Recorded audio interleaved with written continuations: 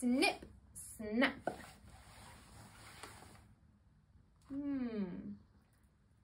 Anything to notice here? What can we see on this page? Yes, the wallpaper is made out of birds.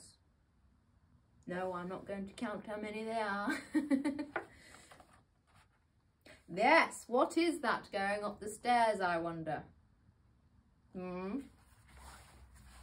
Let's see if we find out. when the alligator came creeping, creeping, creeping up the stairs, were the children scared? You wouldn't be scared. Well, you bet they were. These kids were very scared. Marissa tried to close the door. Eva tried some more. And Jonathan didn't try at all. He just cried and cried and cried. And then he hid.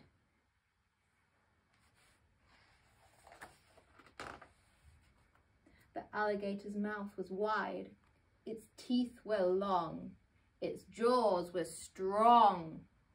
The children watched as it began to bite the edges of the door. Snip, snap, snip, snap, snip, snap, snip. Were the children scared?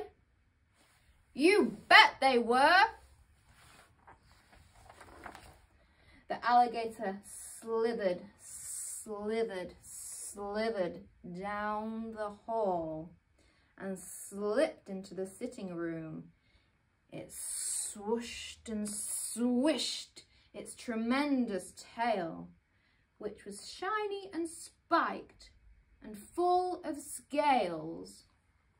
Were the children scared? You bet they were! Under the piano. The alligator's tongue was flicking.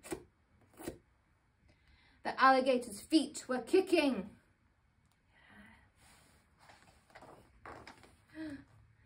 Then the alligator's mouth opened up very wide. Creak, creak, creak as if to invite the children inside. Were the children scared? You bet they were. The alligator's eyes were flashing. The alligator's teeth were gnashing as tables and chairs and pianos went crashing. And after the sofa and curtains were ripped, the alligator licked his lips. Were the children scared? You bet they were. And then what did the alligator do? Did it say to the children, I'm going to eat you?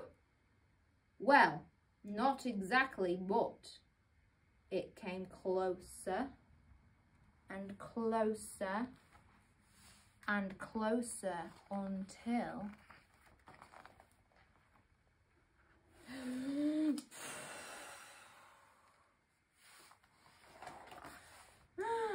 the children decided that they'd had enough of all this scary alligator stuff.